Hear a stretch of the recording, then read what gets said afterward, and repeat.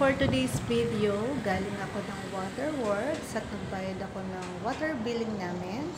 And after, pupunta ako ng Robinson Easy Mart. Naglakad na lang ako papunta doon at ah, nadaanan ko ang San Matias Church. Ayan, malapit lang naman dito. At ah, nadaanan ko rin ang San Matias Elementary School. Ayan, pati na rin yung school ng aking anak sa Fatima. Ayan.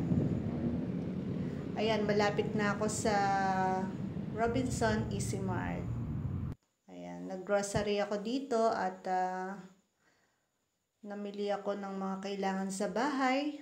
Kaya, grocery, grocery time.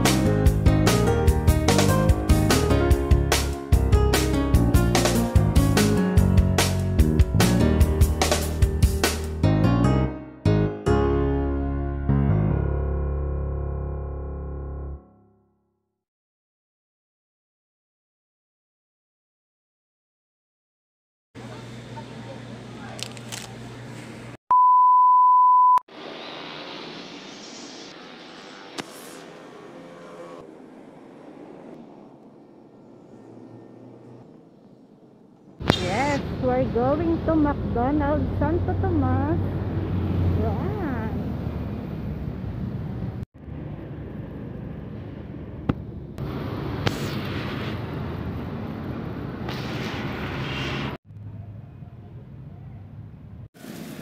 Ayan guys, pauwi na tayo. Kakatapos ko lang sa McDonald's, Santo Tomas branch.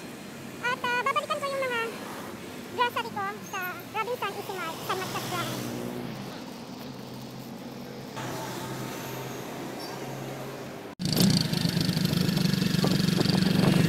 Pauwi na tayo guys.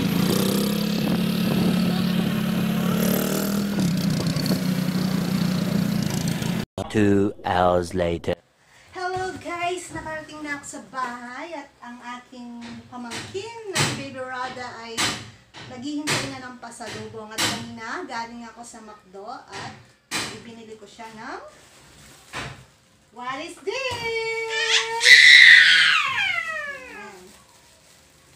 Every time na aalis ako, gusto niya meron siyang pasalubong na fries.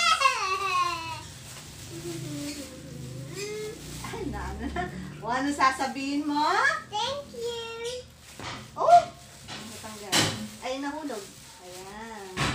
Binili ko siya ng, pakita mo, fries from McDo at saka ano apple pie. Ayan.